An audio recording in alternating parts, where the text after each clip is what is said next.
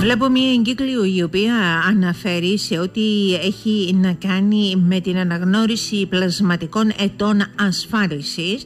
Εγκύκλιος του Υφυπουργού Εργασίας και Κοινωνικών Υποθέσεων του κυρίου Τσακλόγλου ότι από 18 Εβδόμου 2018 δεν υφίσταται πλέον διαφοροποίηση μεταξύ των ασφαλισμένων του ΙΕΦΚΑ ως προς το χρόνο υποβολής αίτησης αναγνώρισης πλασματικών ετών ασφάλισης και των συνεπειών αυτής και έκτοτε είναι δυνατή η θεμελίωση, η κατοχήρωση συνταξιοδοτικού δικαιώματος σε μικρότερο ηλικιακό όριο με την αναγνώριση πλασματικών ετών ασφάλισης περιλαμβανομένου και του χρόνου στρατιωτικής υπηρεσίας.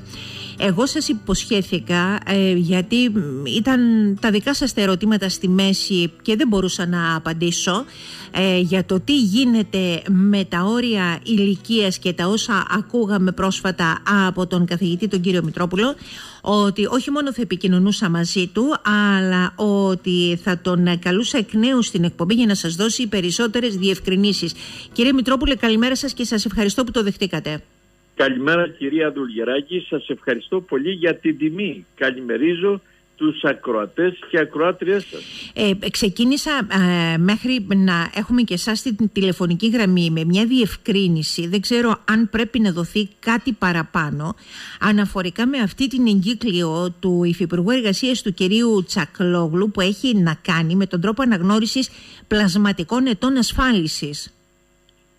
Ότι μία εγκύκλιο στην ουσία κυρία Δουλγεράκη είναι επικαιροποίηση μιας εγκυκλίου ιδίας στο περιεχόμενο του 2018 που λέει ότι για να χτίσει κάποιος το συνταξιωτικό του δικαίωμα μπορεί να αναγνωρίσει τα λεγόμενα πλασματικά χρόνια εξαγοράζοντας έναντι τιμήματος και όχι φτηνού αλλά ακριβού τιμήματος ναι, τα χρόνια του στρατού αν είναι άντρας τα χρόνια σπουδών αν είναι άντρας γυναίκα τα χρόνια των παιδιών αν είναι γυναίκα άντρας τα χρόνια της επιδοτούμενης, ένα χρόνο επιδοτούμενης ανεργίας ή επιδοτούμενης ασθένειας και υπό ναι. κάποιες συνθήκες η μεταπτυχιακή τίτλη και ούτω καθεξής. Άρα, ναι.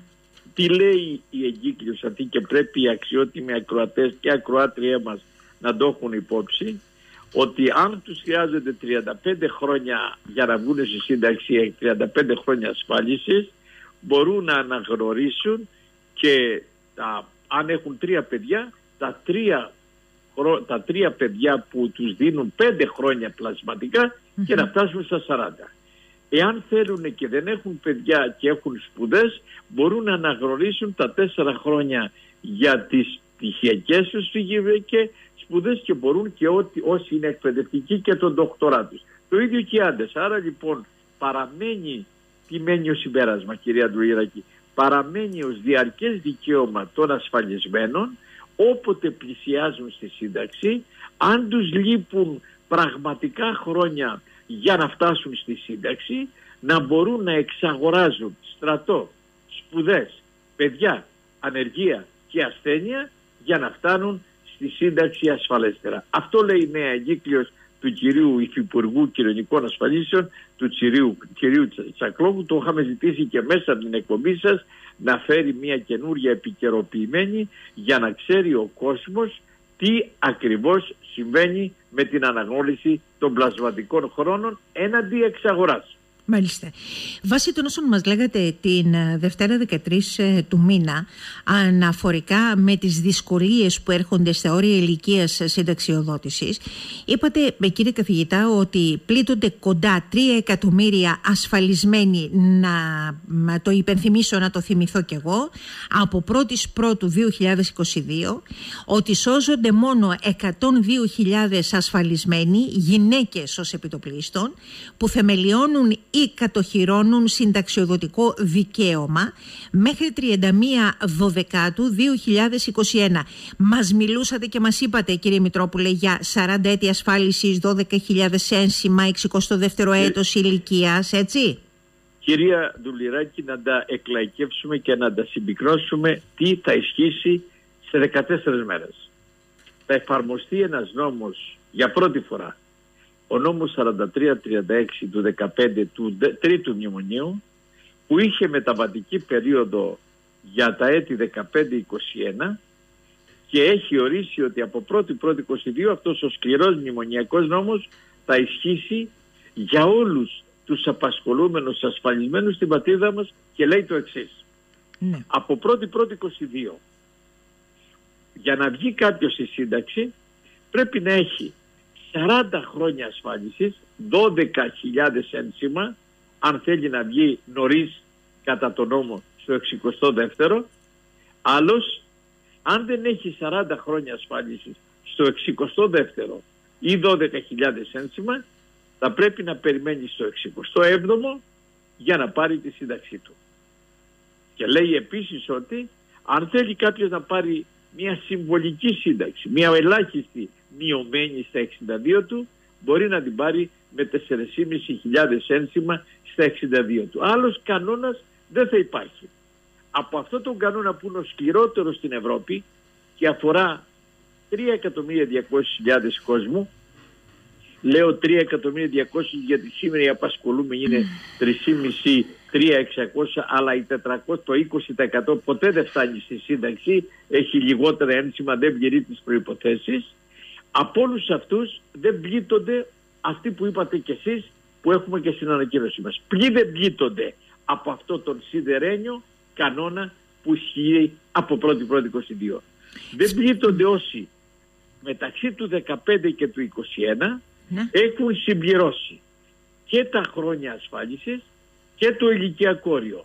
Αυτή την κατάσταση τη λέμε θεμελίωση συνταξιωτικού δικαιώματος.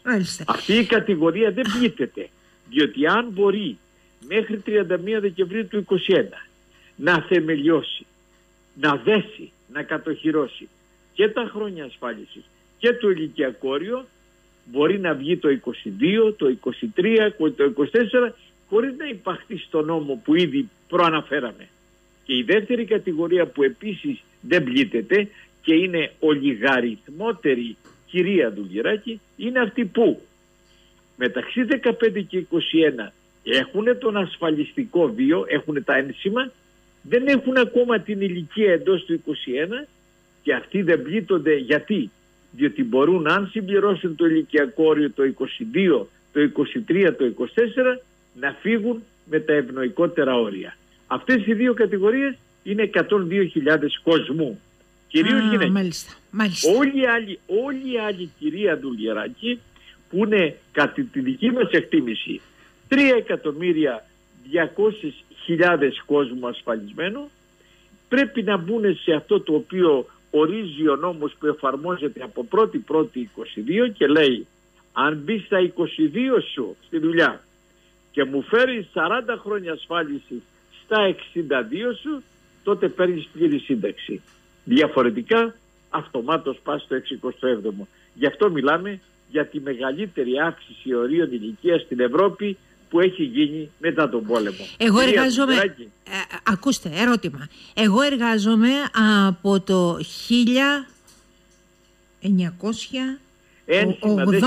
μισό λεπτό.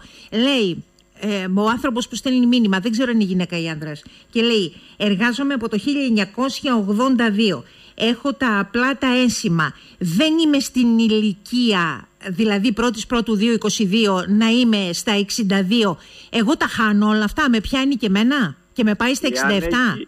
Ε, ε, εάν έχει μπει στη δουλειά από το 1982, αν είναι στο δημόσιο, βγαίνει χωρίς πρόβλημα στη σύνταξη. Αν όμως τα ένσημα είναι οίκα και είναι στο ιδιωτικό τομέα και δεν έχει 300 ένσημα κατέτος από το 82 και του λείπουν ένσημα, το πιάνει αυτό το οποίο ήδη Πρέπει να έχει δηλαδή κατέτος 300 οπωσδήποτε ένσημα. Ναι, γιατί τα, Όχι 300 στην, πατρίδα, τα, στην πατρίδα μας το πλήρες ασφαλιστικό έτος πρέπει να έχει 300 ένσημα. Διότι κάποιοι αν δουλεύουν 70 μέρες το χρόνο ή 100 μέρες το χρόνο δεν έχουν 300 ένσημα, έχουν 100 ένσημα. Υπό αυτήν την έννοια πρέπει να μας πει ο αξιότιμος κύριος ή η κυρία, κύριος κατάλαβα ότι είναι, αν έχει, αν έχει το 82 παίζει ρόλο αν ήταν ασφαλισμένος του δημοσίου. η πρώτη 83. Δημόσιο, ε, όχι, όχι δημοσίου, ιδιωτικό τομέα. Σας έρχεται άμεσα η απάντηση. Όχι, όχι. Αν είναι ιδιωτικό τομέα, πάει στον κανόνα που ήδη προεξηγήσαμε, κυρία Τουλγεράκη. Η πρώτη 83 στο δημόσιο ή έχουν βγει ή έχουν θεμελιώσει και βγαίνουν χωρίς να τους πειράζει ο νέος νόμος Κυρία Δουλγεράκη. Είπατε μειωμένη σύνταξη για μειωμένη σύνταξη ότι απαιτούνται 15 χρόνια ασφάλισης, 4.500 ένσημα. 4.500 ένσημα. Ωραία. Και το 62ο έτος της ηλικίας. Ερώτηση. Στα 67 παίρνει πλήρη σύνταξη; Η διάταξη λέ, τη θεωρεί πλήρη, αλλά καταλαβαίνετε, στην ουσία είναι 15 τεσσαρακοστά της σύνταξης. Διότι μία πληρεστάτη σύνταξη, η, η, η όρημη πληρεστά τη σύνταξη στην πατρίδα μας δίδεται με 40 χρόνια ασφάλιση. Όταν λέμε πλήρη στα 67, ο νόμος τη λέει διότι έχεις πλήρως θεμελιώσει, αλλά το ποσό της σύνταξης είναι τα, 10, τα, τα 15 τεσσαρακοστά της πλήρους σύνταξης. Και αυτή όμως ο νόμος, ο νομοθέτης, τη θεωρεί πλήρη σύνταξη, διότι πληρούνται όλες οι προϋποθέσεις συνταξιοδότησης κυρία Δουλγεράκη. Ναι, αλλά στην ουσία οικονομικά καμία σχέση δεν έχει με την πλήρη σύνταξη, έτσι δεν είναι; Ουδεμία, διότι με 40 χρόνια η σύνταξη δίνει 1.200 ευρώ και πάνω και με 15 χρόνια δίνει 520 με 600 ευρώ. Δηλαδή τη μισή, κυρία Δουλγεράκη. ρωτάει, κυρία, έχω βαρέα και ανθυγιεινά μέχρι στιγμής μου έχουν πει, μου έχουν πει δεν ξέρω ποιος το έχει πει, ότι ε, κατοχυρώνω συνταξιοδοτικό δικαίωμα, ότι πριν από τα 62 μου ή μέχρι τα 62 μου μου έχουν πει ότι μπορώ να φύγω. Με αυτό που λέει ο κύριος Μητρόπουλος που λέει ότι μας πιάνει όλους ανεξάρτητα πέραν των κατηγοριών που ανέφερε, εγώ πάω σε άλλη ηλικιακή κλίμακα.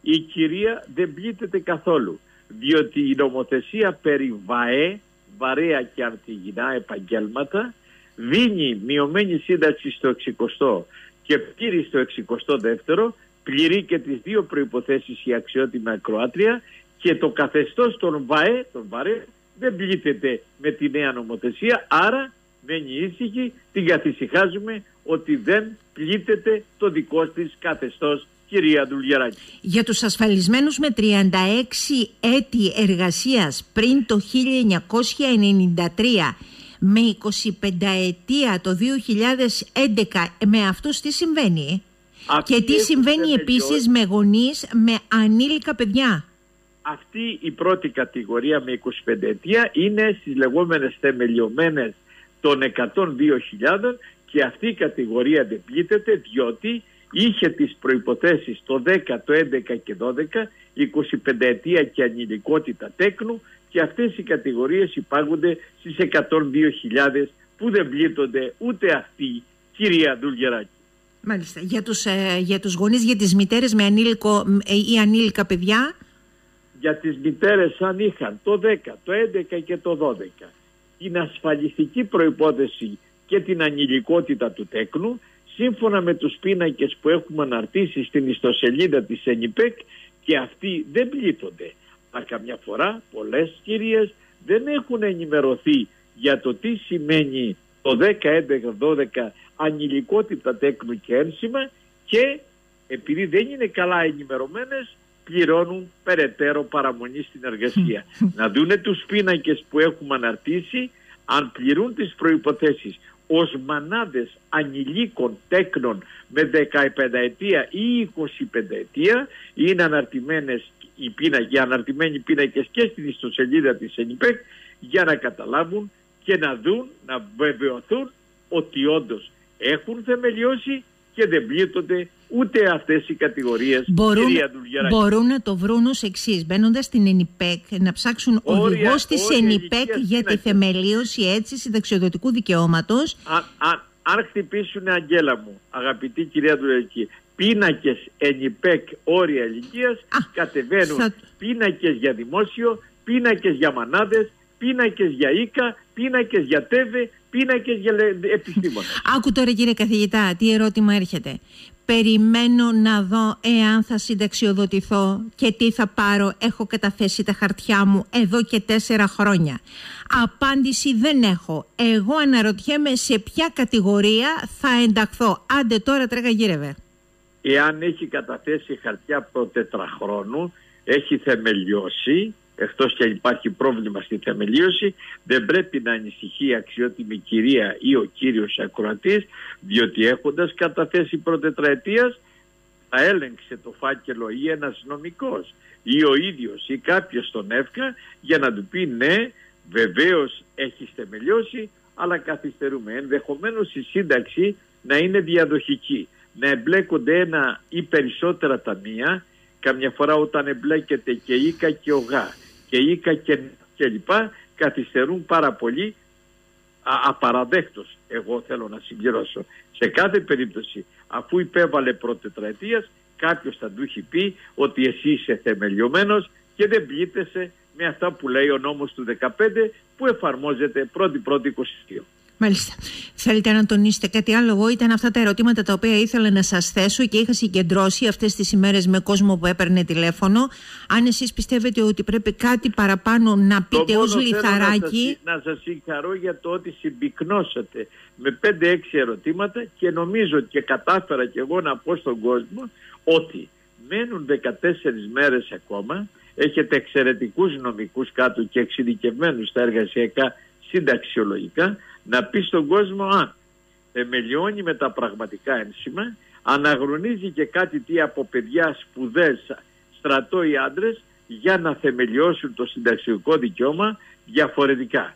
Έρχεται καταιγίδα στην αύξηση των ορίων ηλικίας, οι κυβερνήσεις και οι προηγούμενοι και οι προηγούμενοι κυρίως γιατί αυτή ψήφισε αυτόν τον Αρμαγεδόνα αλλά και η σημερινή το αποκρυπτεί ότι έρχεται καταιγίδα στα όρια ηλικίας Δυστυχώς οι περισσότεροι επιστήμονες και συναδέλφοί μου έχουν κομματικές εξαρτήσεις και οι αναφορές και δεν λένε την αλήθεια στον κόσμο. Γι' αυτό ο κόσμος να ακούσει την εκπομπή σας, να εμπιστεύεται και την ΕΝΙΠΕΚ που αντικειμενικά και επιστημονικά ναι, παρουσιάζει ξέρετε, τους νόμους. 14 ωστόσο μέρες δεν καταλαβαίνω τώρα και πάω στα δικά μου τα ερωτήματα ε, πόσο μαγικά μπορεί αυτό το δικαίωμα εάν μπορείς να το κατοχυρώσεις διότι είναι μέσα οι αργίες και οι σχόλες και όλα τα υπόλοιπα με το πάτημα ενός κουμπιού γίνεται ηλεκτρονικά και ανήμερα Χριστούγεννα εμείς θα υποβάλουμε πάνω από 300 αιτήσεις οι συνεργάτες μου κυρία Δουλγεράκη ηλεκτρονικά γίνονται αυτά με ένα κλικ που έλεγε και ο Υπουργός και ο Πρωθυπουργός, ο συμπατριώτης σας. Δεν θυμόσαστε με το Βρούτση, λέγανε με ένα κλικ θα βγαίνει σύνταξη. Λοιπόν, δεν βγαίνει με κλικ, αλλά με ένα κλικ υποβάλλεται η αίτηση. Άρα, Α, δηλαδή μετράει ο αριθμός πρωτοκόλλου για να, να το κατοχυρώσεις η αίτησή απλώς, σου; Απλώς να γίνει, να σου πει δεκτή αίτηση. Είναι απλά τα πράγματα. Μεσάνυχτα καταθέτουν οι συνεργάτες. Α, μα δεν το είπατε αυτό από την αρχή. Γι' αυτό αναρωτιέμαι και λέω, αν είναι να υποβάλω μια αίτηση και στη συνέχεια να ελεγχθεί αυτό το πράγμα είναι διαφορετικό. δεν γίνεται χειρογράφος, γίνεται ηλεκτρονικός.